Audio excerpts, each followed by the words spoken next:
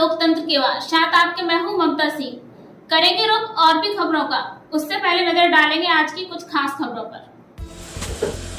बिहार में पूर्ण शराबबंदी लागू होने के बावजूद भी राजधानी पटना में अवैध शराब का कारोबार धड़ल्ले से जारी है। ताज़ा मामला पटना सिटी के अगम कुआ थाना क्षेत्र के ज़ीरो माइल स्थित सनौली पेट्रोल पंप का समीप का है।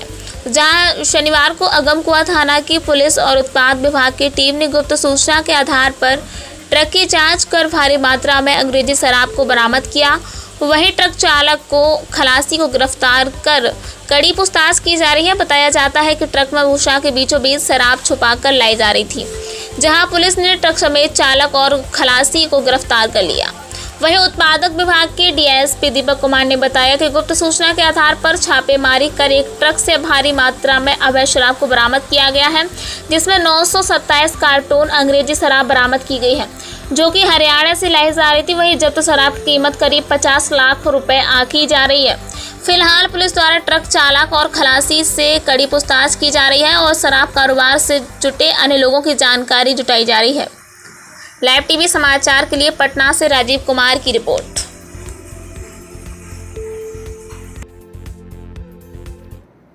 अब तक के लिए बस इतना ही। रुकेंगे एक छोटे से ब्रेक के लिए। थोड़ी देर में फिर से हाजिर होंगे ऐसी कुछ खास खबरों के साथ। तब